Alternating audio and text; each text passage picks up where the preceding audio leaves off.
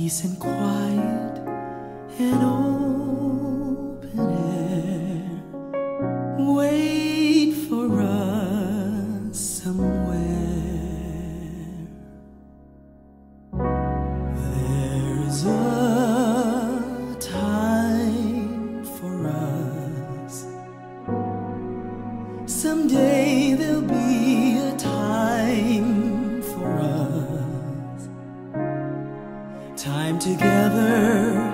with time to spare.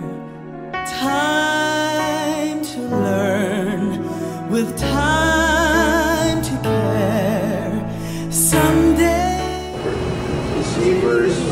person, most high. The Lord be with you. And may the Almighty God always bless you. The Father, the Son, the Holy Spirit. Amen. If mothers will never abandon us in this life, what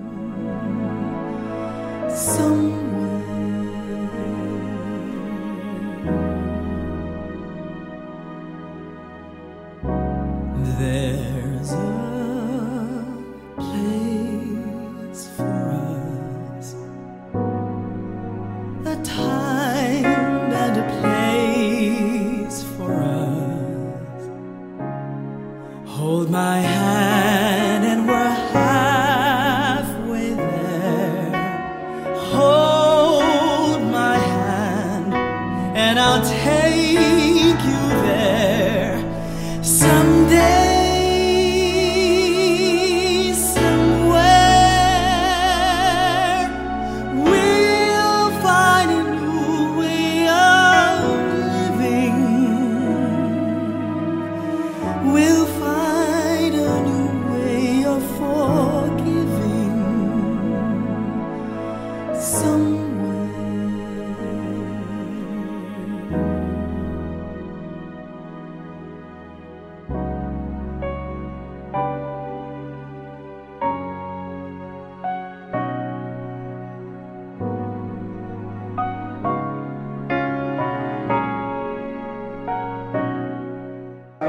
of St. Pius X. It is, uh, it was founded in 1970 for the purpose of serving uh, this the discipline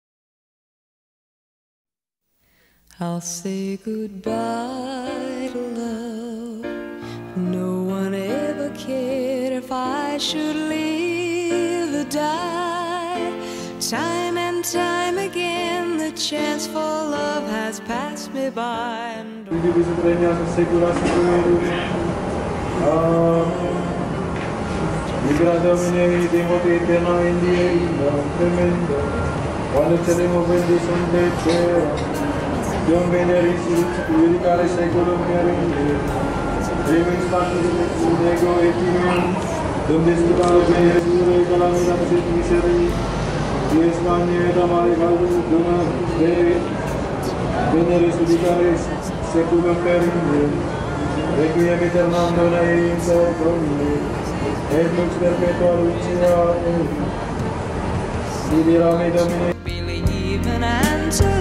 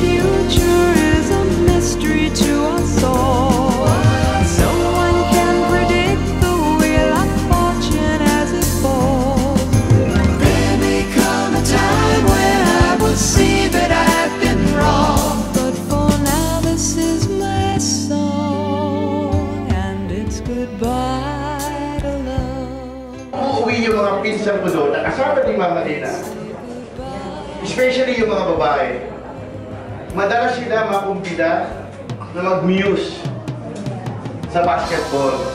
At pag naglalaro ako ng basketball noon, at ang na, you know, I, can, I could still uh, recall, pag naglalaro ako ng basketball noon, oras na may, may, you know, may makasakit sa akin, mamamano si Mama Lina ng payong. Ah, habulin niya talaga ng payong. Yung, yung nakasakit sa akin. Yung, yung, yung, yung magic, sport yun. Ganun siya na-consider. No?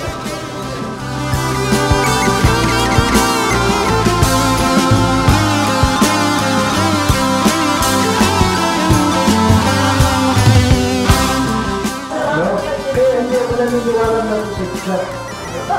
Magsap, mag... Ah, every time na maghahandad na may kaldereta. Ako, so sinasabi man na mag-iip si Tito Grace, sinasabi ko nga parulo. Pero si Tito Grace naman, sobrang galante. Pag nandun ko ako, ah, ang tawag ko kasi ako lang po ang nagpo-proclaim ng po. Well,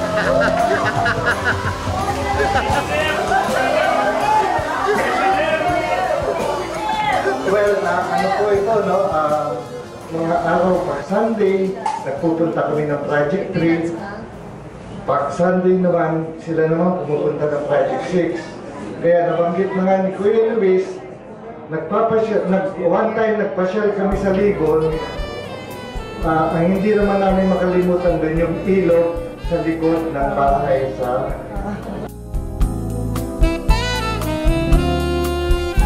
You must remember. Ito huling-huli on the physical. Maaaring physical siya, wala na yung huling henerasyon. Pero naman yung kanyang sumunod na na henerasyon na tayo, mukhang na mas mahigpit. No? Okay, ang dami akong sasabihin pero may mga si ang aking ganda, kamukha ko kay sakit din. Oo, sabi niya. Pero sabi niya, sa ano, pagka magbalas tayo, punta tayo sa Medlayego. Sabi ko, o sige, sabi ko, sabihin mo din na test, maghanda ka na ng araw ng ano, para pumunta tayo sa Medlayego. O sige, sige. Ang saya-saya niya nung last January. That was the last time na nagpunta siya sa akin.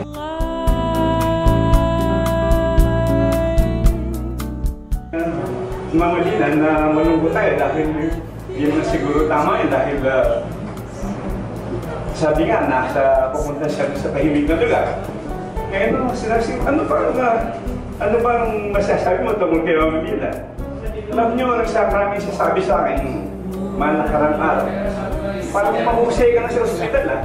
Sabi niya ganyan, alam mo na kung anong gagawin mo. Ang totoo, nag-iisip-isip din ako eh dahil uh, Nung mga nakarang araw, naisip ko yung mga ginawa ng mga magulang ko. Needs men and man must have his mate. Kaya dalaw yan. Kaya si Tess ang pinag-aasikaso niya eh. so, It's still the same. Siya po yung ah, nag-prepare ng aming pagkain. Tapos ah, sa tulong din po ni ni Ninong Alan ni Kay. Tapos basta siya po yung nag-asikaso sa amin. Ah, mula po sa pag ah, ano tawag dito? Ah, yung pagpun pagpunta po ng parte ng asawa ko sa amin. Ah, pamamanikan. Eh, si Mama Lina na po yung kasama ng mga kapatid na aking asawa.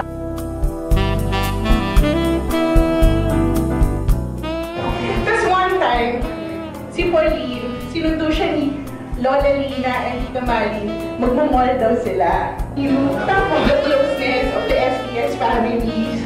And, um, tawag dito, um, I'm sure that you'll be, you're happy now with, with Lola Ding, Lola Felipe, Lola Greg. And, um, wait lang, I have to add lang pala. Kasi Lola Nati, which happens to be yung lola ko talaga, asawa ni Felipe is not here. So si Lola, you know naman, my Lola is, she cannot speak deaf and mute siya. Pero she would always say a lot of good memories na ginawa ni Lola Lina. As in, sabi nga niya, when my lola died, kasi nag-sign si Lola Lina, magaling din mag-sign language. So she would always communicate with Lola through sign language. Kaya nalulungkot din si Lola kasi nawalan siya ng isang makaka-communicate talaga. Interpreter. Pero, yun lang, um, Ate, I don't have so much memories yung bata po ako. Kasi magkabilang dulo po kami. Sa South po ako, ka-South po kami. Tapos sa Quezon City naman po sila. So medyo parang out of town ka sa amin. Tapos, pero ang ano po namin kay Lola, Lina, is lagi naman po namin siya nakakasama. Pero naalala ko nung bat, yun nga yung parang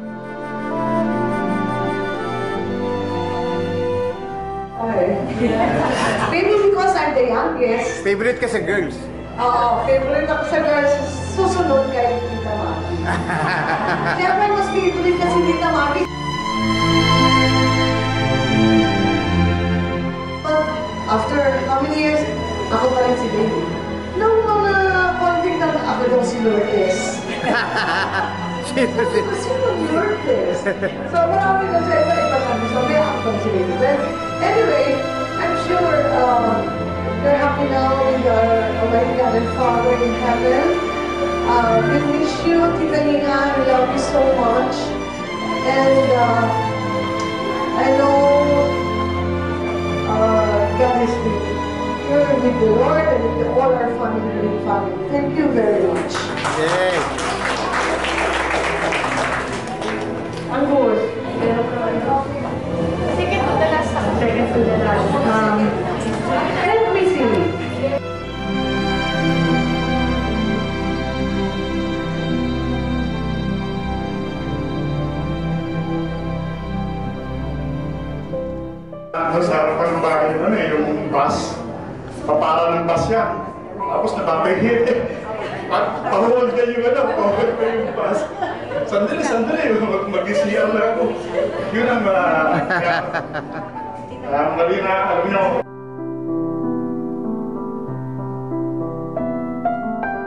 Tama. Dahil ako ang pinanlalaban ni Daddy kay Mama para makapasok sa bahay nila. so, ang Mama is ah, hindi niya tinotolerate ang Daddy ko na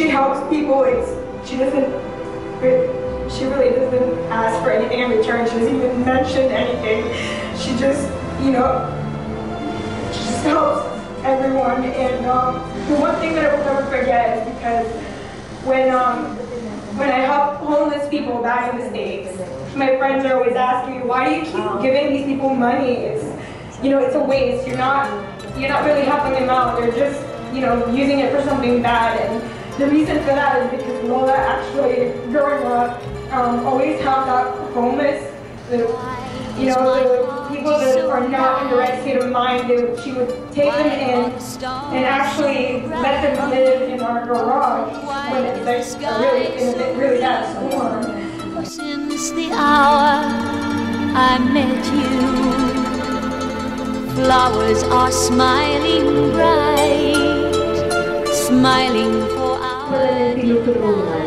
na hindi ko alam. Yun nga, yung sinabi ko manicurista, ah, yung kung, sino, no? Tapos yung mga pulubin na dumadaan doon everyday, na pinapainom niya ng kape at merienda. Na yung siraulo, yung grata o masa, yung mga ayaw, ayaw ng tao na sinasuhin, no? Pero siya yun, ginagawa niya. And then, ah, ano pa? through not to leave her. Um, as a matter of fact, sabi niya, please don't work anymore. Huwag ka na magtrabaho. Ah, ma, wala tayong gagastos. Gamitin mo lang yun. Kung anong babayaran, ah, nandiyan naman yung, yung pera ko, ganyan. Sabi ko, but I still have to work. Ah, I, I am a very active and productive person. can be wrong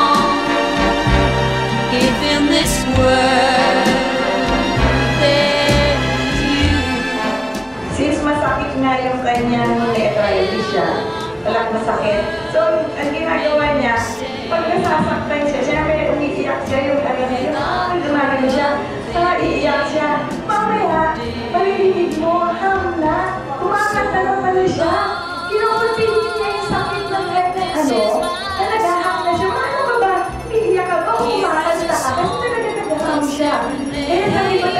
mama, siya yung nagturo rin sa akin na ano, yung maging musically. Actually, hindi naman ako magaling kumanta. Mahilig ako kumanta, kaya ako magaling. Ayaw talaga sa akin yung kanta. Tapos, kaya siya yung nag, ano sa akin, nag-open ng music, pag maging musically, ano ko, yung sa ears lang, mahilig. Siya nagturo sa akin ng ano, yung mga classical. Uh, Kaya hair, ano eh, baka wala naman yung mga ano, long hair, yung mga ano, mga May say